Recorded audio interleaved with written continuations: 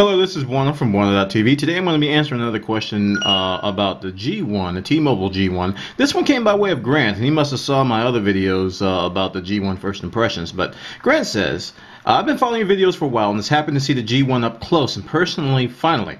But I was hoping to hear about, wasn't mentioned much. I was interested in hearing more about instant messaging, G-Talk, etc. For my phone use, email, IM, G-Talk, and BlackBerry messaging, Messenger is everything. I hardly use the actual voice plan. So my question is, how do these perform on the G1, specifically in the background and connectivity? Ever since getting the iPhone, blah, da, da, da, da, he goes on and on. He says, I'm looking for a great phone that has great multimedia touchscreen, real keyboard, and good IM connectivity. And it seems like the G1 would be a perfect match. Please let me know. Thanks. All right, Grant. Grant, Grant, I am. Now you've probably been hearing this thing chime. And that's how it's working in the background right now. I have IM set up right now, connected to FriendFeed. And uh, I put an icon on the desktop for the generic IM applications. You can see it here. It says IM. Um, but you can find it in, in, the, in, the, main menu. It comes installed by default. You don't need to uh, install it. But there are other IM applications out there. There's one called eBuddy that recently came out. You can check that out.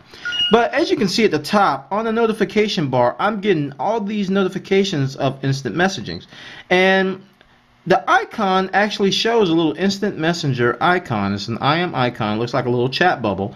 And it lets you know that the IM is I mean, the, the notification is from IM. And like I said, I love this T-Mobile notification system. You just drag the screen down and you can see a summary of your notifications. You can see in this case that I'm getting a G-Talk a G-Talk uh, notification from FriendFeed, and this is what I set up to test this.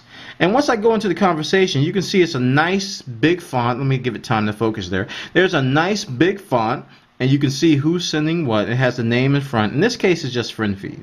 And as you get more and more IMs, you get more messages.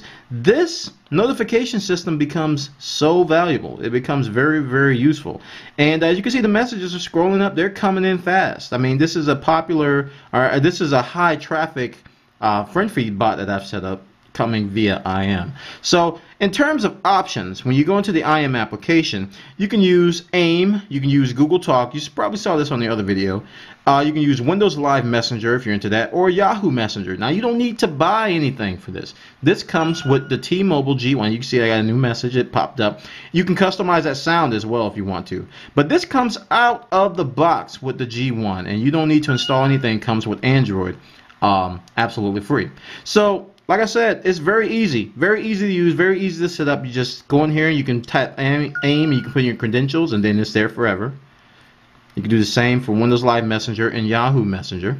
But you just drag it down, and you can go to right to the notifications and start typing away right here on the T-Mobile G1. It, it's it's a very good way to do IM. I don't know how how it stacks up to uh, a full-blown BlackBerry Messenger type service because that's that's really really serious messaging. But I think it comes a close second. I think it's better than the iPhone in terms of IM, uh, especially with the notif- uh, And the reason I say that because it can run in the background.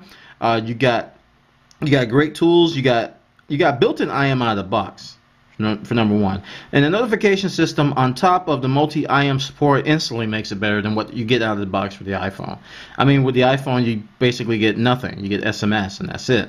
You have to go out and buy something. So that makes it a little bit better. So I think if you're looking for a powerful IM capability on the T-Mobile G1 on the Android platform, I think you'll find it on the G1 with the built-in IM client. So Grant, I hope that answers your question or tickles your fancy about how IM operates on the T-Mobile G1. I gave you a little a little uh, taste of what it is, but the things you should remember is that you get multi-IM client out of the box and the notification system in the background is very very good. Customizable sounds and it works very well. All right, this is Bwana from Bwana.tv and this is the IM on G the T-Mobile G1 platform and how it performs for people looking for IM capability. Take care.